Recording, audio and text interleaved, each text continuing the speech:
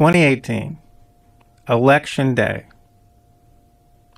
So, because I, I already told you we got them to s- stop doing this in Georgia, but now I'm going back in time. 2018, election day, Google on its homepage uh, posts this go vote. Everyone go vote. So Google does this. Now, the question is were they sending it to everyone? I don't know. But let's assume they were sending it to everyone. Okay, the first thing that happened that day was all the major news services praised Google. Praise Google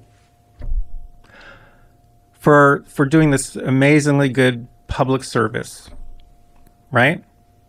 And I looked at it and I immediately said, that's not a public service. That's a vote manipulation. So I sat down and I did exactly what a data analyst or data scientist at Google would do. And I just ran the numbers.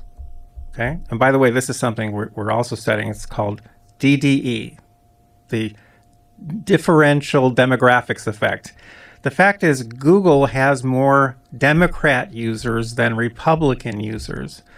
So if they sent that to everybody that day, that would give 800,000 more votes. It would give, you know, more votes to everybody, but it would give 800,000 more votes to Democrats than to Republicans. This is spread across again midterms, so it's hundreds of hundreds of races. So if they send it to everyone, it, they, they win. So if uh, if Google is biased towards Democrats in terms of users, what are the Republicans using?